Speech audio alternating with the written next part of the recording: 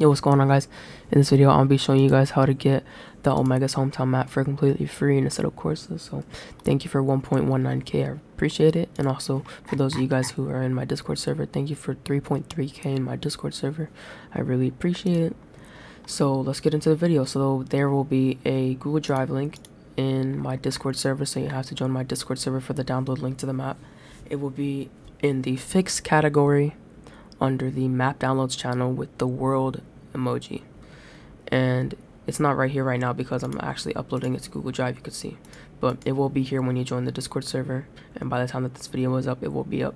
So yeah you just go here and this is the password right here. Polizai 110 is a password however you say it I don't know okay? I, I have no clue how to say it. But you basically drag and drop it to your content manager and then over here you type in the password and Polizai 110 or however you want to say it. Then you press OK and then clean installation if you already have the map. But yeah, so this is 0.73. I'm pretty sure 0.75 is the newest, but this one works with traffic anyways. And it still has all the big roads, so yeah. Make sure you guys sub. I'm giving you guys this for free. And also, make sure to join my Discord server if you're not already in there, because the map download link is in there. And peace out, and have a great day.